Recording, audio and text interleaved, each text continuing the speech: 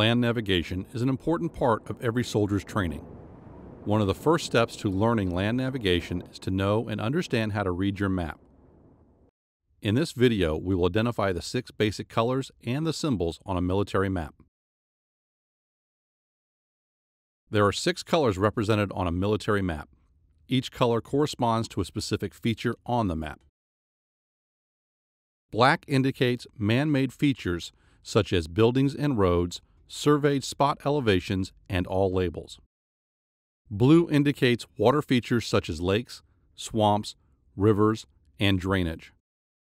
Green indicates vegetation with military significance such as woods, orchards, and vineyards. Red classifies cultural features such as populated areas and main roads, while on older maps, red denotes boundaries. Red brown. These colors are combined to identify cultural features, all relief features, non surveyed spot elevations, and elevations such as contour lines on red light readable maps.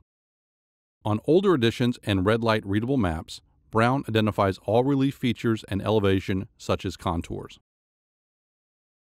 Other colors may be used to show special information. These are indicated in the marginal information as a rule. Identifying symbols is another important aspect when using a military map. Using the legend, you should identify most of the symbols used on the map. Learn to identify each object by its shape on the map. For example, a black, solid square represents a building or house. A round or irregular blue item is a lake or pond. Learn to use logic and color to identify each map feature. For example, blue represents water, if you see a symbol that is blue and has clumps of grass, this would be a swamp. Finally, identify the marginal information on a military map. Sheet name, sheet number, series name, scale, series number, edition number,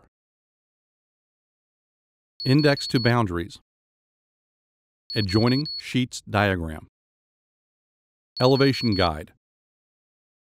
Declination diagram. Bar scales. Contour interval note. Spheroid note. Grid note. Projection note. Vertical datum note. Horizontal datum note. Control note. Preparation note. Printing note. Grid reference box. Unit imprint and symbol. Legend.